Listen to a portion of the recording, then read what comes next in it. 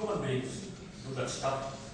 And related more close home uh, our uh, discipline of uh, computer science.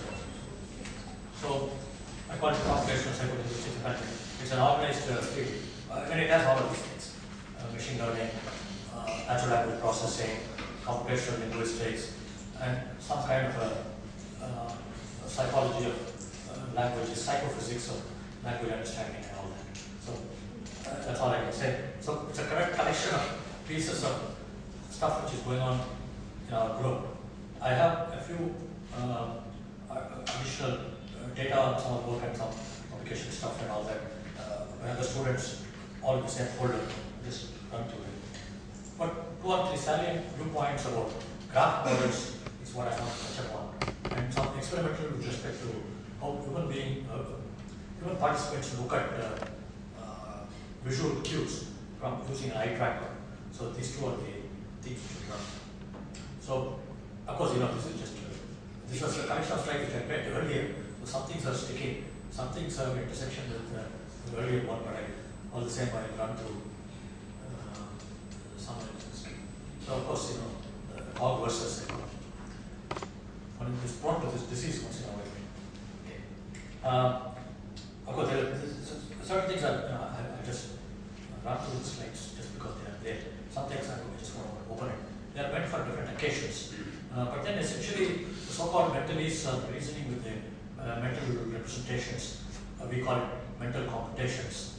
And um, uh, it has these different facets of uh, to do, perform these, uh, the cognitive apparatus uh, has been layered or, or I mean structured into substrates, resources, processes, and uh, models, etc. Now, uh, the contents of broad contents of my presentation, some technical details of some of them, or the first one is called a concept association network.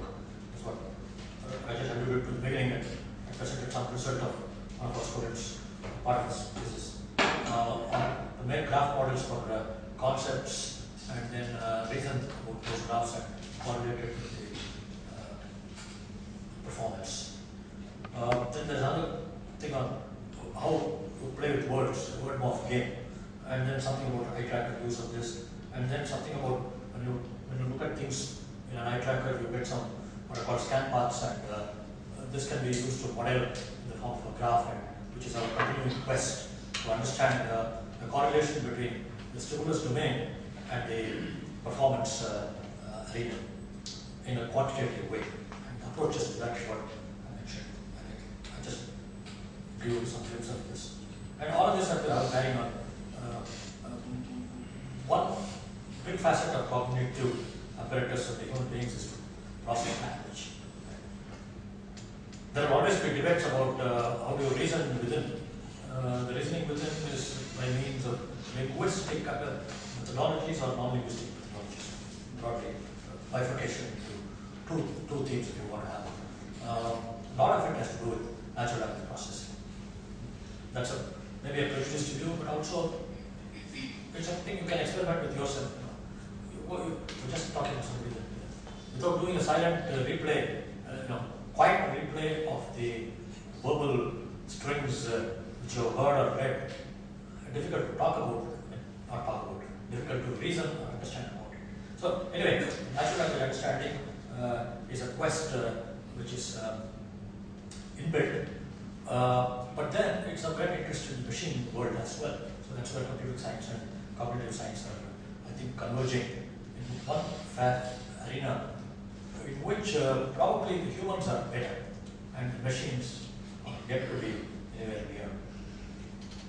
So eh, these are things also of some two courses I teach at. Okay, anyway, this, this is a broad slide, which uh, just a different rendering of the various substrates. The, the interesting thing is this computational brain is something, uh, is a title of a few books. Joseph Gredot, for example, is a beautiful book called Computational Brain. And uh, essentially the computations uh, are to do with something about symbolic manipulation systems. And uh, to reason about those symbols, you need a stringing uh, system, which you call language. Uh, so the software of the, uh, uh, the brain uh, or the mind has several algorithms which are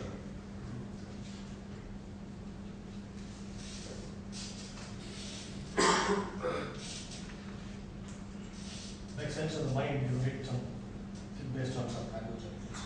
Okay. So I'll skip the lot of data with, uh, about this, uh, this cognitive apparatus which is uh, cast into this uh, data sheets from somewhere. But one is uh, uh, an extrapolation as to, uh, okay, this is not to do with psycholinguistics and computation thing, but the resources to have as a hardware, uh, as opposed to the resources which the physical hardware will build and is, is, uh, is the background.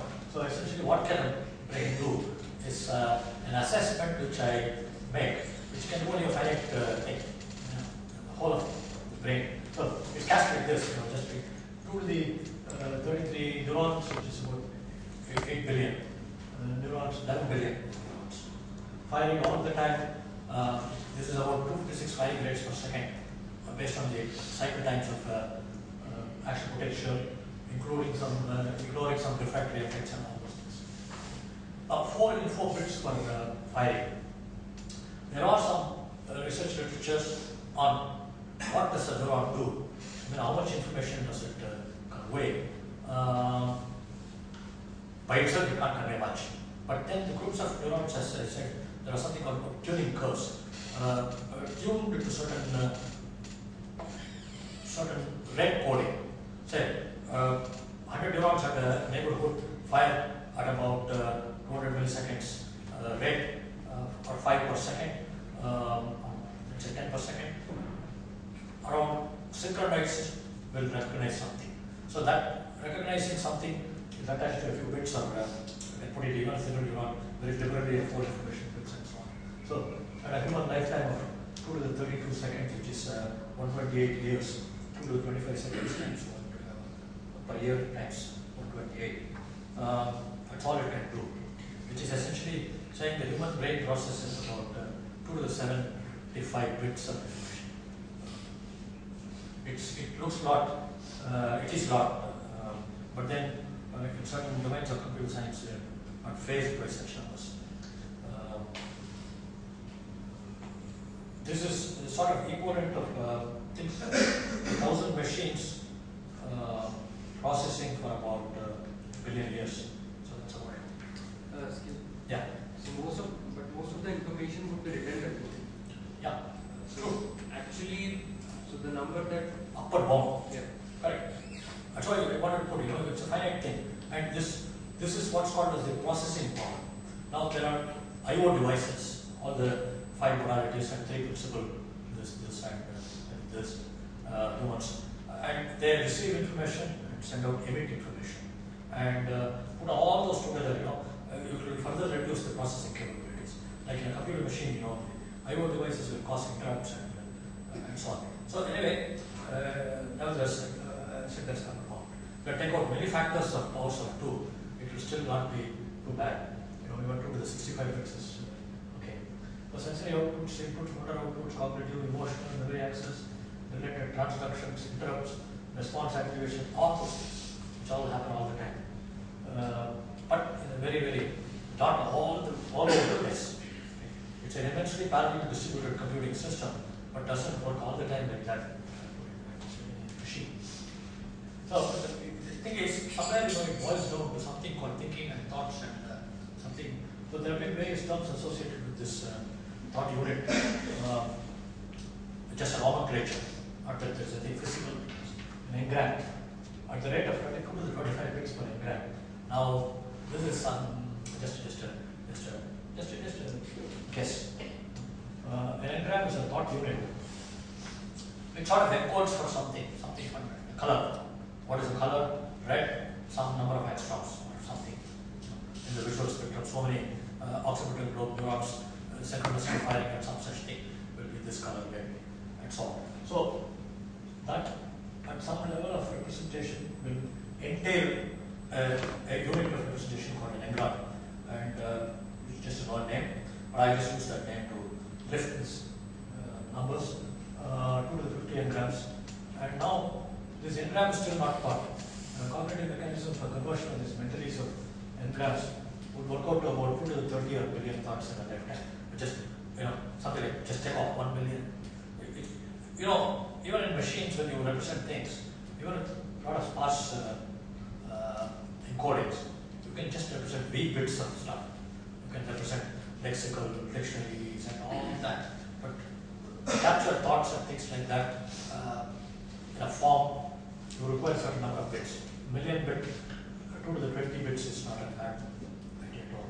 So just put that in. So essentially just finite number of thoughts. I just call it a billion thoughts, whatever it means. Under suitable computational models and encodings, um, okay, anyway, this can all be captured in something. Um, the various, this side is the various processes, the word associated, the language process, and, um, okay, the one thing which will come to again and again, there are some representations. The mental representations is the thing. The previous things we alluded to, uh, a hypothetical uh, language model, I call it the markup. You need a, every markup language uh, requires something called a pointer or a tag. Uh, in the cognitive science, they are called as reference in, in Fodor and uh, Pylyshyn uh, framework. Uh, they, there's something called a referent. The referent has a causal relationship to the symbol referred. Uh, word objects uh, grab a mental index. You know, it's like uh, this bottle. It's stuck a cord, and uh, there's a tag called bottle. The bottleness of this is all there in some list and so on. So that's called a referent. And that's the idea. So referent is like a tag, pointer. You know, in computer programming languages you call it pointer. Point there, there resides that, and that thing descriptor. The descriptor is too long, you store another pointer somewhere, and you change the system of pointers you have. So these are kinds of models which are thought about in, uh, uh, in computational models of uh, uh, thought mechanisms, uh, by one, uh, one work of book called On On On On Intelligence. Okay, so essentially this is uh, both philosophic as well as uh, uh, quantitative uh, material.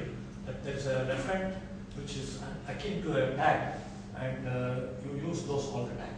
So now you come to, you know, somewhere there is a linguistic slant of the tag. The tag itself is a name. Okay, and so on. So when I talk about a cognitive markup language, it's going to be a way of describing all these tags. Now these tags can be, you can call it an auditory tag, auditory cue for the sound of this. Okay. A, a, a shape cue, a color cue, all kinds of things. So each tag gives you a different way of addressing the same object and some different properties. Um, of course, you know, using these things, you can you can build a, something called call a cognitive markup language, but that can be superimposed over a network of different types of networks theories. There are various types of theories which have uh, uh, advocated earlier. Uh, okay, that's one side. Now I just want to get into some computational stuff. Before that, I just pursue on the, uh, the earlier line of reasoning. But um, there are di- dichotomous uh, uh,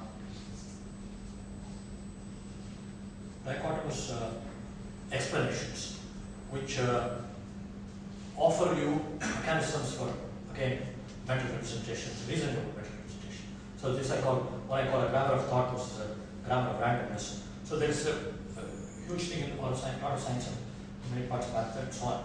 That apparently random, uh, you know, locally, locally random phenomena, locally random phenomena uh, leading to globally organized phenomena. Okay. So apparently the, the neurons firing a single neuron, the two hundreds, and aggregates of neurons, it all look like uh, uh, it, it's like random. Maybe they can do a minuscule reasoning about classifying, like in a neural network which you can build, classifying uh, uh, this line versus this line or something like that. But that's not the thought of with thought. Okay. Similarly, reasoning about uh, letter A versus uh, letter B or something like that. Now, but from there stems this hierarchical organization of uh, uh, aggregates of neurons into what are called systems of uh, maps. Uh, in- in general logical way, uh, aggregates into layers and uh, maps and uh, systems. Okay. So which will help you build this uh, business of thought. So likewise, you have this uh, different uh, types of uh, dichotomous frameworks. Chunking is one thing which obviously is a very, very inherently cognitive mechanism, in particular human cognitive mechanism when it comes to uh, everything with words and uh, uh, language, Uh, as opposed to continuous streaming of data. In particular, the modality of auditory does not facilitate you this chunking, whereas the, the visual modality uh, gives you a facility to chunk things. Okay. So, it- it's awesome. So, the, co- the counterparts and very different uh, things are being noticed. Uh, civilization I mentioned last time at a glance. uh, This is uh, finger instantiation reference to reference. Uh, this is like instantiating a pointer, fetch a pointer, then look at the data or pointer, fetch another pointer if it's not uh, data and so on and so forth. So that's one other mechanism. So this is more like a sequential chained way of getting things. This is like at a glance. So obviously, two contrasting uh, uh, mechanisms, but invoked depending on the need. And uh, same applies to routine versus model. You know, uh, routine is all subitized, meaning just recognizing one, two, three, maybe you have a model table chair, and all those little things. But uh, novel stimuli is what makes uh, the cognitive apparatus going, and learning going. So, uh, seems to be a collection of things. In fact, I put on the left-hand side uh, some kinds of uh, uh, meta, uh, percepts, which each would serve as a tag for something. Uh, when you look at things, you have many tags. So the cognitive markup language has multiple tags, and I would invent something like a tags based on this, this, this, and this, uh, depending on the need. Okay, now, um, so in order to build a different language, I at some graph models. So I, will show you some, few, few graph models. So this one is called a concept association network, and uh, part of it was looked at by Arun uh, my department. So this is a data from uh, a small subset of uh, standardized uh, lexicon of words, uh, predominantly nouns, which stand for some concepts. So apparently people are asked to say, uh, tell me what you what comes to your mind by looking at uh, say a word like cat. So you get all these uh, things which come to your mind. Then you put a between them. And so all uh, comes to right, and so on and so forth. So this is, uh, this is a standardized corpus from some British university. This experiment can be repeated, but uh, some uh, basics set. The, the, the point is to look at how people go from concept to concept. So the entire lexicon is not important, but uh, some collection of this. So if a graph looks like this, it has some properties of what is generally called uh, large scale networks. Uh, in large scale networks, one is interested in uh, some aggregate properties of various kinds of uh, graph parametrics. So a few of them, uh, like this. So this particular thing has uh, 10,000 words and uh, they are generally sparse. Uh, see, the, you ask what is related, uh, it will turn out that uh, you will get about seven relations quickly. Uh, what comes a strong relation to some other concept. Okay? So that's, that's sort of reflected in what's called the diameter of this graph. So this graph is uh, generally sparse. the large scale networks are these kinds of parameters. So generally sparse means uh, there are only about 63,000 uh, edges, uh, 13,000. So average degree is about uh, uh, 12, which is a double of that. Both ways it's counted. Uh, half of it is 6. And uh, edge density, local neighborhoods, and average is very small. Degree is, of course, quite high. And uh, there are some words like kept or something like that. They tend to get a large number of, uh, or a box or something like that. Diameter is about the path lengths and uh, length of longest paths and uh, uh, over every pair of vertices the uh, diameter of a graph. You know. For every vertex you take the shortest paths which are for every vertex u any vertex in the graph the length of the uh, shortest path is called the eccentricity of that vertex and maximum of this between every pair is called the diameter. So diameter virtually looks like the real diameter something like this, which are very polar, very far apart. Maximum is called the diameter. Minimum of that eccentricity is called the radius. This is a measure of uh, how distant things are connected. So this means to say that any pair of uh, vertices on this graph is separated by at most seven uh, hops. So that's a typical uh, uh, what's called as a small world phenomenon. And then uh, the other thing is about this. Uh, there's something about these graphs. They get sort of clustered densely here, here, here, here, few. That's it. And the rest of the graph is all sparse. So that's called uh, reflected in what's called as a degree distribution. There will be a small number of vertices with a large degree. There will be a large number of vertices with small degree. That's a typical phenomenon in many uh, many natural networks. We call it social networks, natural networks, sea networks, so. So this gamma is uh, the the plot of uh, number of vertices of a certain degree. The degree has a quick drop, uh, k to the degree to the power of minus 2.6. So that's called the gamma of that. Uh, so it drops off exponentially with degree, whereas at a value of or, or scale value of 2.6. So d to the power of minus 2.6 is the is gamma. Now that's of course uh, expected norm. It turns out it's- so clustering coefficient is locally how densely every vertex among all possible neighbors it can have what it really has ratio. It's called a clustering coefficient. So these are some standard uh, measures and there are a few more. See, these cannot be used to do classification of whether two different graphs of, from this kind or of the same kind. So one Question, how would you decide this, uh, how would you compute this uh, gamma, that is clustering coefficient? we we just apply it. Is it in uh, formula for that or it varies from? No, no, no. Oh, okay. No, the, the, the formula, it, it, of course, this is the empirical data. It's a fit of the degree distribution from that graph. It turns out to be d to the power of minus 2.6. That's it. And very close to that, called. Okay.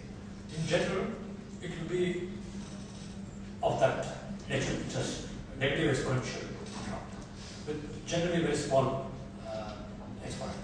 Not, it doesn't just with this whole jump and everything, you know. Gracefully comes down and long tail it has. So the value will be around uh, minus 2, 3, uh, small value. This is empirical effect. Okay, but what was it, uh, the study was to say, if you, uh, I say coffee and uh, uh, comic, so flash two words, you say coffee, comic, now we go from this word to this word. So this is what is called as a, uh, navigating on this network. Okay. So how do really people go from concept to concept to concept to concept? That's the, that's the question. And to study this, we use this start data and then perform experiments. So the, the perform experiments with uh, people, okay. Um, 60, okay, this is a typical uh, usual human participant the, you ask people, so this is just a starting point for studies. Some kind of uncontrolled experiment. But this is a very natural thing. One thing is the lexicon is common. This has been tested out on various people, uh, imported from somewhere, but then you try your own. Those words are familiar and so on. You should give uh, uh, some very coffee and then very uh, strange uh, word, which very rarely used thing. Okay? So the whole idea was to weed out those things and gently control the experiment with uh, going from one concept to another concept word. How do people do? So you ask uh, uh, to target navigation on uh, roughly about uh, three chances per participant.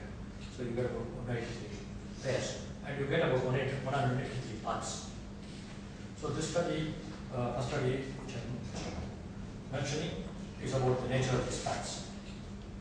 Okay, now all this is to uh, begin to say whenever we do such studies on network navigation, uh, people try to look at three different ways. Okay.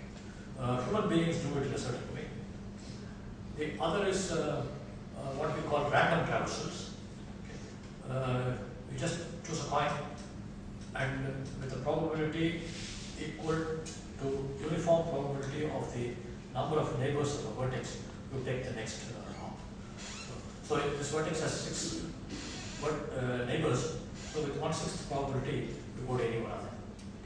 So that's the random way of going for a network.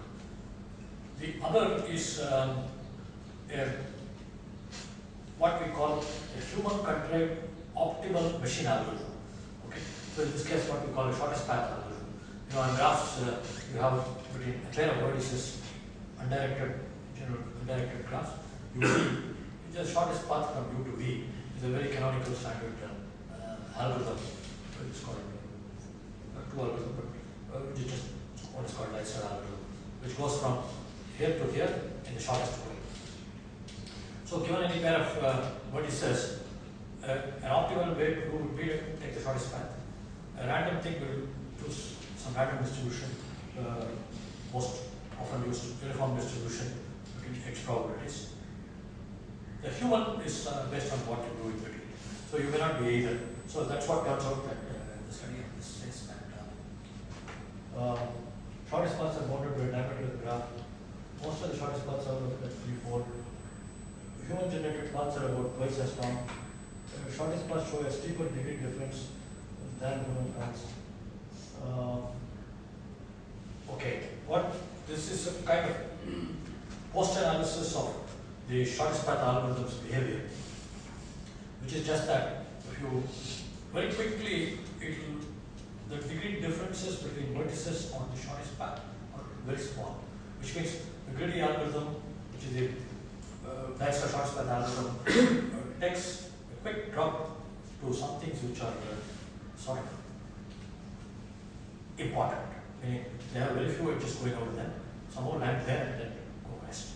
So the degree differences are very sharp, quick, whereas the humans are not uh, more uh, uh, agnostic to that uh, degree difference, but we don't know that yet. Okay.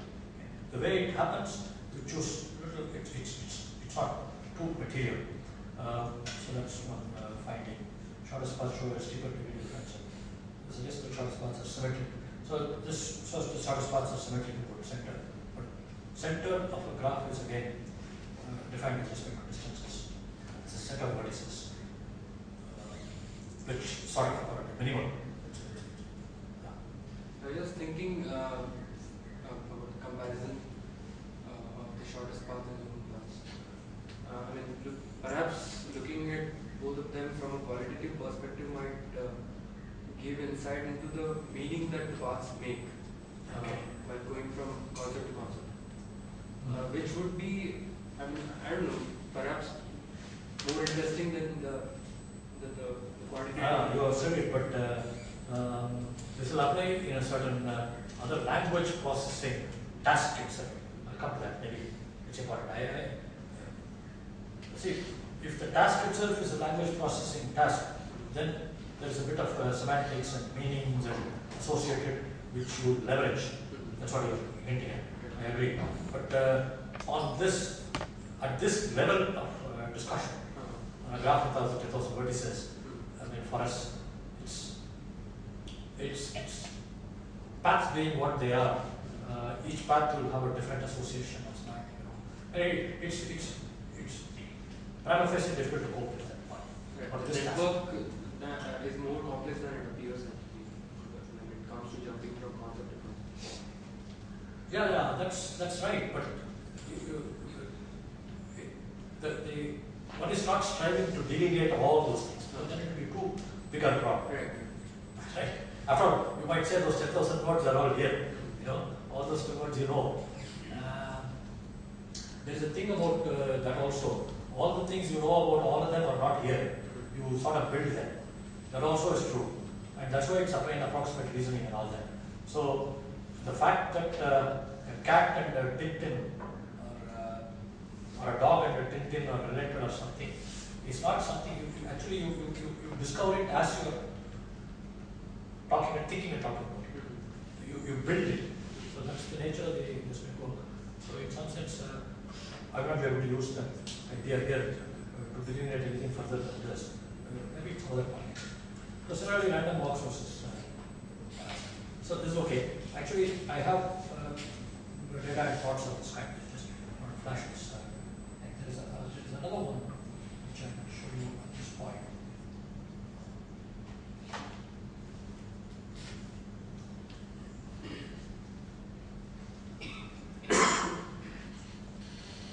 Uh, I'll just not put it to the same slide because uh, different slides of different kinds.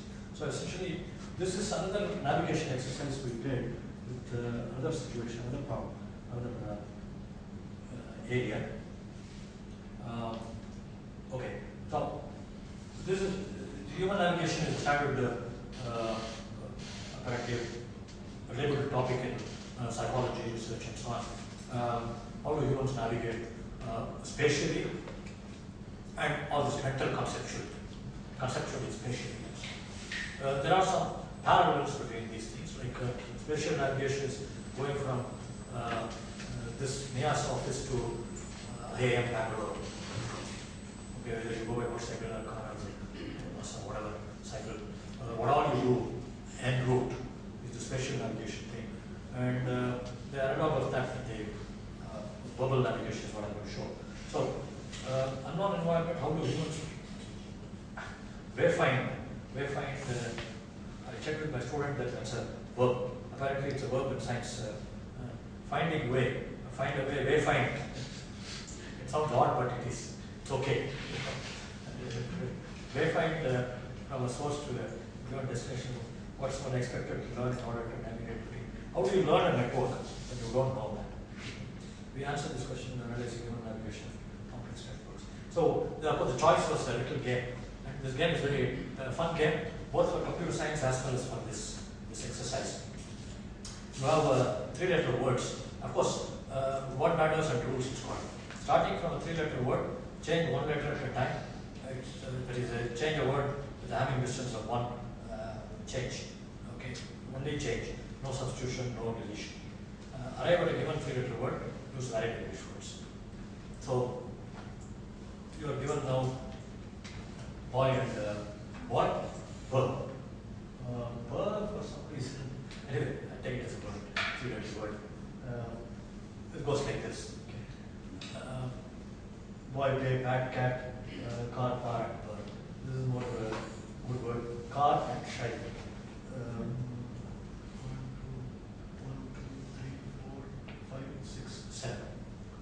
A pattern of seven. Now they, of course, you know, this goes back to Lewis Carroll. Um, he called it something else. And uh, Knuth is a reference to uh, the study of these kinds of things. But it's an interesting uh, computer science study itself, which is not part of my present study, uh, to look at path densities on this graph. Now, what is the graph? The graph is uh, this uh, network of all three letter words, about thousand or something Uh, at the dense component and uh, one dense big component, one small component, and several uh, uh, small components. Um, some snapshot is uh, given here. Okay, so now uh, the thing is, you get a graph. Okay? The graph was there, it has some properties and all that. Uh, where two words, uh, a word corresponds to a vertex, a vertex corresponds to each other, and uh, two words which are adjacent, if and only if there is a one letter change between them. More complicated mathematical things you can do with uh, larger size, uh, insertion deletion allowed, um, which is more like editing stuff. This is a simple game, and it can be nicely played with uh, uh, kids and people. And the thing of interest to us is how you go. Now, this there's no underlying concept, but there is an underlying network. This underlying network you don't know. The participant doesn't know. He simply sees two words, the car and a shine, a try and run, something like that. So you do whatever you want. Now, instead of doing whatever you want, what we do is to show the adjacencies. Okay? So, in car, you would say cat, cab, all those things will come. Okay? So, there's a computer screen, you sit and you click and it goes like that. Okay? So, essentially, the idea is that you get out of uh, Nias Gate, you want to go to IIM, you won't go north least, you go south. You will turn left somewhere, you know it's south. So, the, the neighboring landmarks, neighbors are north, then you go to IAC, then Malleswaram and things like that. So, from here you go to IAC, not that road, it's not this road. So, these ideas, uh, the network locally is known, is shown to the participant, and then he navigates. Um, again, they experiment this to several people several times, and they sort of allow them to learn the network. Okay. Um, so after learning, is there a learning? And then the learning uh, does it lead to some strategizing, and then uh, that strategizing, what is it? Is questions. So participants, uh, 20 participants with the 65 pairs. Uh, average time, it's, it's uh, sort of, machine is high, uh, quite large sometimes. Uh, of course, for a total of all the 65, and then it uh, very quickly comes down to a few bits. So there's something about this. Okay. Now, uh, of course, the big question is how are we learning these uh, associations, or are we learning something of these? So what we learn is something we, we realize you do learn, but there is something about uh, the what's called the clustering coefficient, which is uh, defined as the reciprocal of the sum of uh, local distances, shortest path distances for every vertex. So DUV is the distance between U and V, shortest distance, uh, for every U, so the total distance, and then uh, for a particular, uh, I think this is, this is V, yeah, this is localized V, this is V fixed here. Okay. So this is a measure of the, it's, it's, it's not constantly, it's, it's a measure of, okay, it's a measure of center. Okay. So there is a notion of what called centers and graphs. There are several definitions of centers uh, by choose, so which are used to analyze a variety of such networks arising in uh, many kinds of situations, from biological networks, protein networks, social networks, all kinds of things. So there are different, what are called, is the centrality measure. How central is this vertex to be? Um, so essentially, it's again intuitive statement I would make. Now from here, go from here to IIM Bangalore, you go to some central spots and go to a central spot, go to another central spot, another central spot.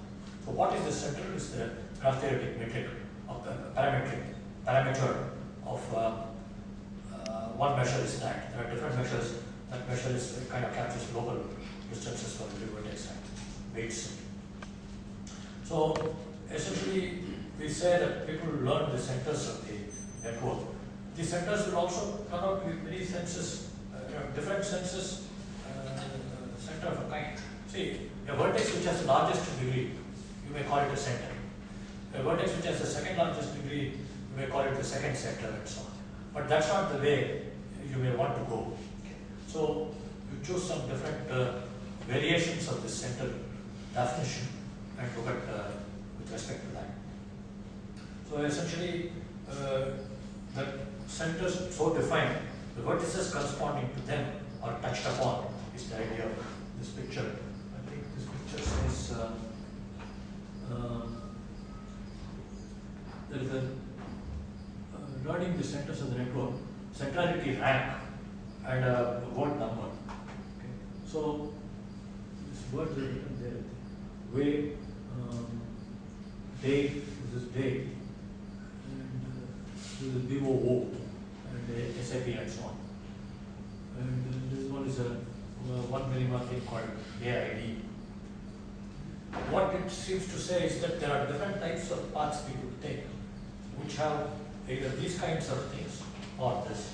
So essentially saying, from here you go to Malleswaram, Majestic, uh, I don't know what, uh, whatever, I don't remember the uh, and that way. So those all have, you can see, many radial roads and things like that. So obviously they have more chances of being uh, hit uh, quickly. Okay. Uh, So this, of course, we called it the uh, strategy of choosing, uh, de- learning the centers and uh, choosing the center strategy. in essence. Uh, Has, is it that uh, these, that the strategies been analyzed and you find that the strategies converging as well? Um, yeah, in fact, all, all, almost all people do the same. So essentially, cognitive science experiments is all we can say. We said, do people, all people do the same thing? And one, of course, every individual converges, and all other people, all people also do converge, and they all converge to something called centers. Uh, That's the statement. Uh. Now, essentially, this tying up the quantitative uh, element at all levels is the angle, the goal. Uh, there's only one underlying graph on which different people are navigating. There's like one road network from here to here. You go one way, he goes one way. But eventually we all say, all of us learned this so-called, even if you didn't know anything, that's. You're, you're new to this place, then you're learning from local information. Go with it. I think that's the idea.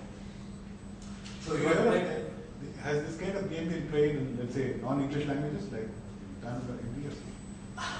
And what, uh, what would you anticipate findings to be? Maybe, maybe, uh, I don't know. See, our felicity with that language probably Yes, is important. Yes, yes, of course. So that's why, to, to remove that uh, uh, felicity with language, you use some uh, battery of some, I think, I don't know, ten thousand words.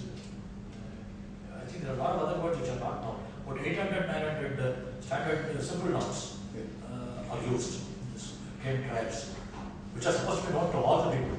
Okay, any retired college or any adult. Obviously, I can't do it on my uh, department watchman or something, which we did some other experiments. Actually, there's neutral to this uh, language thing, in eye tracking uh, scenario for recognizing faces and things like that. So, minimum, maybe this is uh, a question which probably needs a different type of uh, addressing to do the careful experimentation. If you say Tamil I do, maybe some equal facility with the language among equal number of participants and uh, uh, that corpus which is uh, Yes, yes. standard. I think then probably it will be similar. Yeah. Anyway, the, the thing was actually we started with looking at the word, the uh, dictionaries and things like that, uh, uh, try to look at human beings. Uh, try to take hops so that you get closer to the center of the network. You don't know the center. We call it that learning the center is the strategy. Yes. And after a few trials, you get to know the degree distributions uh, internally. Remember a few central words or landmarks and use them as via medium to navigate. Almost always, you know, the hits on those words were more, whichever way you go. And, but that depends on the nature of the network. Okay. Uh, some words are very highly like that, centers. Start from source as well as destination and to intersection. Get closer to the center. Anyway, these are all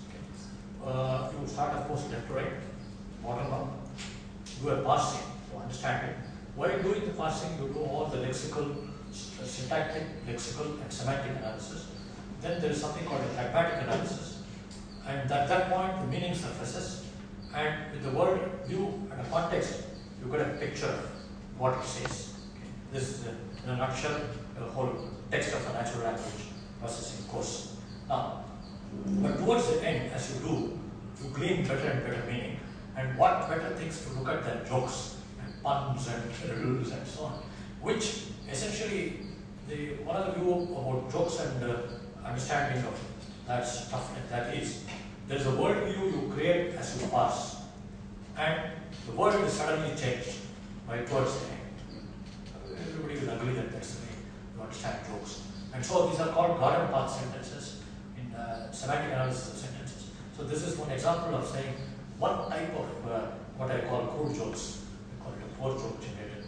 There are some internet material, but I just cast it into a uh, symbolic form, which can be encoded into a program, just a two-line program, which can use a lexicon of words, and you can create uh, this called, called question answer jokes like uh, uh, something like this automatically. Uh, travel, who is it? Traveler in Cuba, Castro. Uh, who is it? Teacher seeking confirmation, their professor, and so on. Now, this plays with the, the what's called the phoneme and morpheme uh, mixing. This kind of mixing gives you a world view, uh, a, a, kind of a topsy-turvy world view at the end, and you reserve it there.